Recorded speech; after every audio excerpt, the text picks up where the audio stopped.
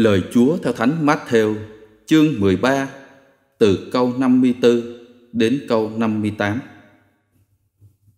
Khi ấy, Đức Giêsu trở về quê, giảng dạy dân chúng trong hội đường của họ, khiến họ sửng sốt và nói: Bởi đâu ông ta được khôn ngoan và làm những phép lạ như thế? Ông không phải là con bác thợ mộc sao? Mẹ của ông không phải là bà Maria, anh em của ông không phải là các ông Jacobe, Joseph, Simon và Judas sao?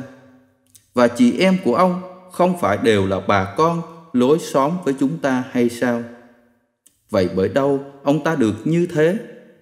Và họ vấp ngã vì người.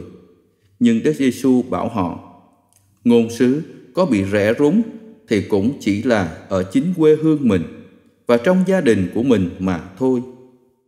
Người không làm nhiều phép lạ tại đó vì họ không tin.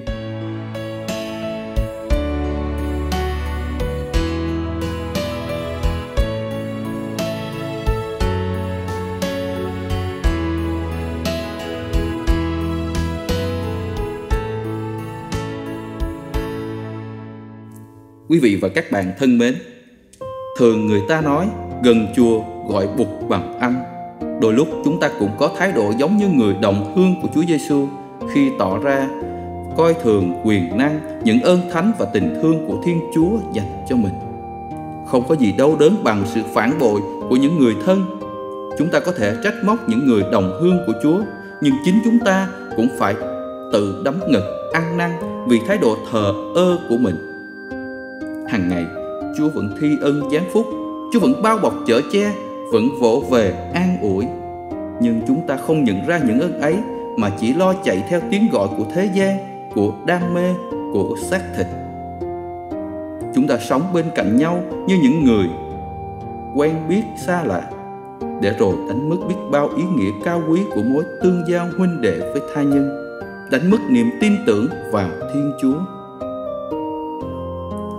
Là môn đệ của Chúa, chúng ta cũng không thể tránh khỏi những phản ứng tiêu cực của người đời sẽ gặp thất bại bị bắt hại, bị bắt bớ. Suy nghĩ ốc địa phương, ốc kỳ thị, dẫn dân ích kỷ đã ăn sâu vào tâm thức khiến chúng ta không bỏ được những thói xấu ấy. Thêm nữa, nhìn vào xã hội ngày nay, người ta chuộng hàng ngoại, chạy theo những gì là đẳng cấp, kỹ thuật số, làm sao để được hưởng thụ vật chất cho thật nhiều mà quên rằng giá trị đích thực của cuộc sống là tin vào Thiên Chúa. Người ta dễ dàng chạy theo những phong trào, những lối sống không ngày mai mà quên rằng nơi Chúa Giêsu mới đem lại niềm hạnh phúc đích thực. Có thể bên ngoài chúng ta không từ chối Chúa, nhưng tận sâu trong đáy lòng và ước muốn chúng ta không còn tin nhận quyền năng và tình thương của Chúa nữa. Nhưng loại đang phải đối đầu với một cơn cám dỗ khốc liệt về niềm tin ngay trong gia đình, cha mẹ, con cái không còn tin tưởng lẫn nhau.